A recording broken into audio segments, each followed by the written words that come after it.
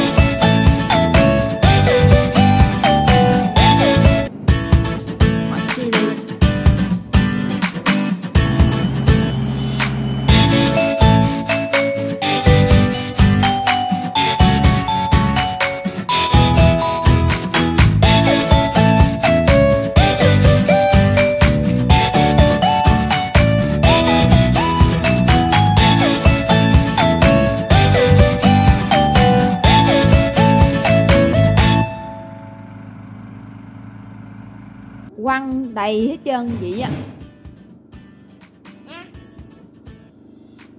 Con quăng mà mẹ không cho lại nữa đó. Đợi tới trưa nha. Nha. Ừ.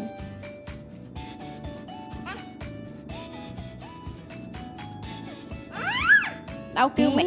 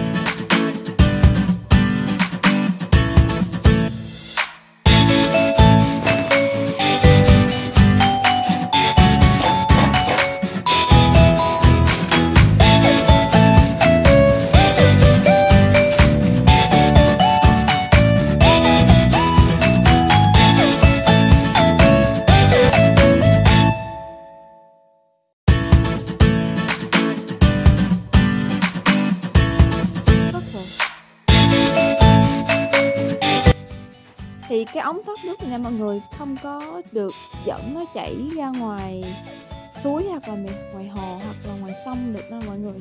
Ở đây nhà nước họ không cho đâu, nếu mà mình làm vậy là bị phạt. Cho nên là cái này chỉ chảy ra ở dưới lòng đất thì sẽ để à, đào đào một cái hố, rồi xong rồi để đá vô. Rồi xong rồi nước nó sẽ chảy vô đó, rồi chảy vô lòng đất chứ không có được chảy vô trong ờ, suối. Tại vì nhà mình cũng có suối á. Nhà mình cũng có con suối nhỏ nhưng mà không được để cho nó chảy vô đó nha. Hoặc là sông hoặc là hồ.